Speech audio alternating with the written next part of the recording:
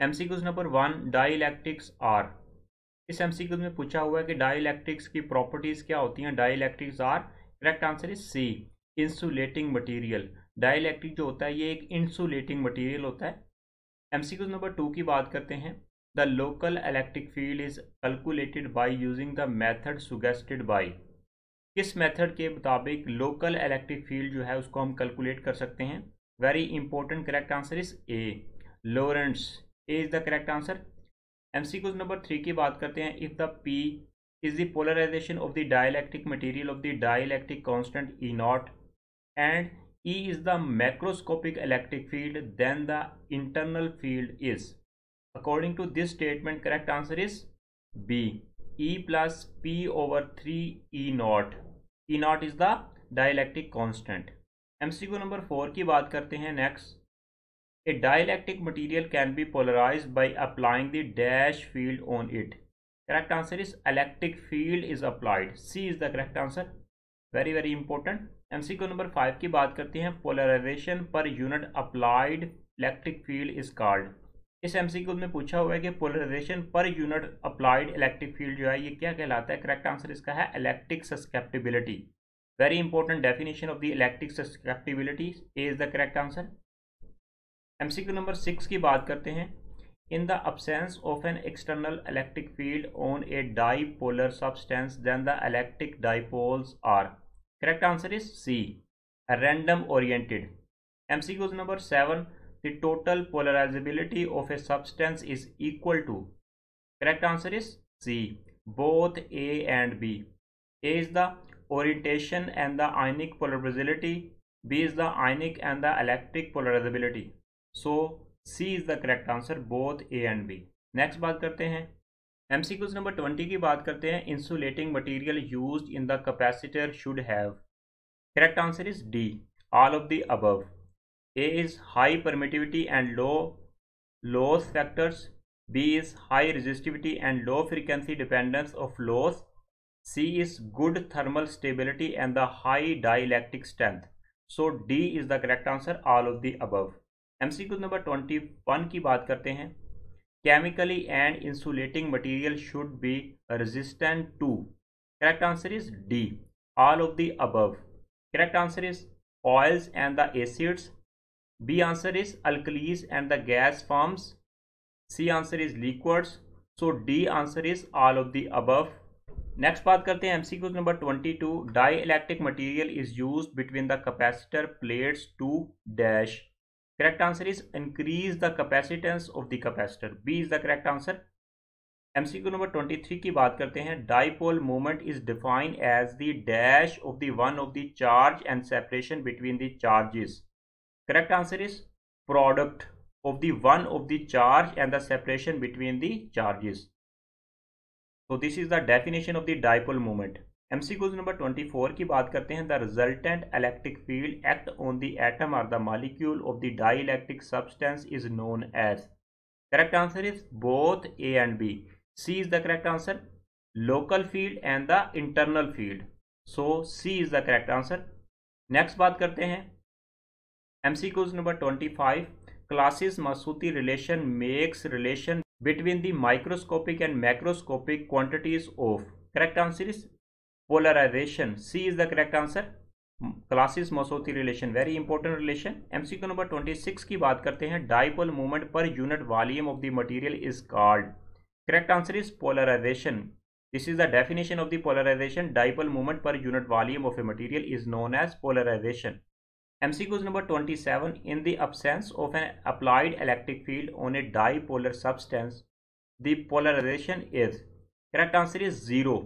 In the absence of applied electric field the polarization is zero M number बात करते हैं twenty eight की by applying the electric field on a dipolar substance it result in dash polarization correct answer is all of the above electric ionic orientational polarization so D is the correct answer all of the above M C number twenty की बात करते हैं total polarizability of a substance it is the sum of the dash polarizability correct answer is d. All of the above.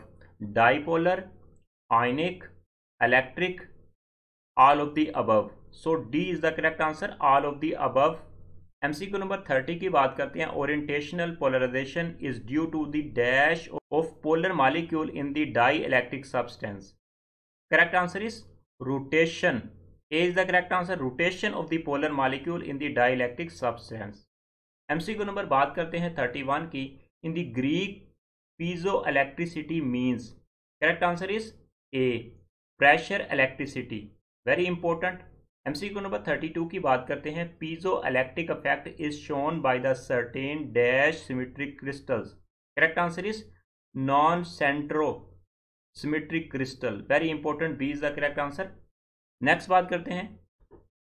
M C Qs number 33 की बात करते हैं। Piezoelectric effect was discovered by dash in 1880 correct answer is Curie brothers C is the correct answer M C Qs number 34 crystals with the centre of the inversion dash exhibit piezoelectric effect correct answer is B do not exhibit the piezoelectric effect B is the correct answer M C Qs number 35 piezoelectric effect is a dash effect very important piezoelectric effect is a reversible effect is the correct answer M C Q number thirty six की बात करते हैं. Quartz crystal dash piezoelectric effect along the optic axis correct answer is B will not show the piezoelectric effect along the optic axis M C Q number thirty seven the natural frequency of the quartz crystal dash with the temperature correct answer is B do not vary with the temperature. Do not change with the temperature. We can say that B is the correct answer. Next बात करते हैं MCQs number 38. The spontaneous polarization means polarization of a material dash external electric field correct answer is without applying the external electric field very very important mcqs mcqs number 39 की बात करते हैं dielectric constant of a ferroelectric material increases enormously as the temperature of a material reduces to its dash temperature correct answer is curie temperature curie is the unit of the temperature curie temperature MCQ number 40 ferroelectrics show dash under the action of the alternating voltages. Correct answer is hysteresis under the action of the alternating voltage. Correct answer is C. MCQ number 41 की बात करते हैं crystal structure of BaTiO3 above its Curie temperature is dash. Correct answer is cubic. This structure has the cubic structure BiTiO3 MCQ number 42 की बात करते हैं as the temperature of B A T I O three is reduce to below the Curie temperature the titanium and the barium ions move up by 2.8 percent and oxygen ion move down by dash percent very important 1 percent Oxygen ion move down by one percent next बात करते हैं M C question number forty three the ferroelectric material are use in the manufacture of the small size dash capacitance capacitor correct answer is large capacitance capacitor ferroelectric material are use correct answer is B M C Q number forty four की बात करते हैं fall in the permittivity of the dielectric material with increasing the frequency of the applied electric field is usually referred to as correct answer is a anomalous dispersion correct answer is a MCQs number 45 की बात करते हैं the imaginary part of the dielectric constant represent dash of the material correct answer is C the dielectric loss of the material very very important M C Qs dielectric properties से related आप लोगों के साथ discuss कर रहा हूँ। Next बात करते हैं।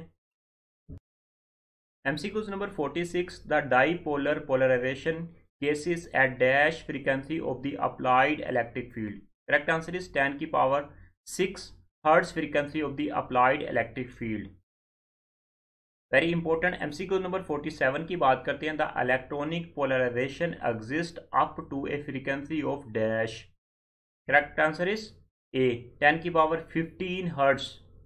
Electronic polarization exist at the frequency of 10 की पावर 15 हर्ट्ज एमसीक्यू नंबर 48 की बात करते हैं. The real part of the dielectric constant is strongly frequency dependent and the undergoes a change in the sign called dash dispersion correct answer is B anomalous MCQ number 49 की बात करते हैं। High dielectric strength and the high resistivity insulating material are required to correct answer is C both A and B A is the withstand high voltages B is the reduced leakage currents so C is the correct answer both A and B MCQ number 50 की बात करते हैं। An insulating material use in the electric machine should have the sufficient mechanical strength to withstand Correct answer is C, both A and B.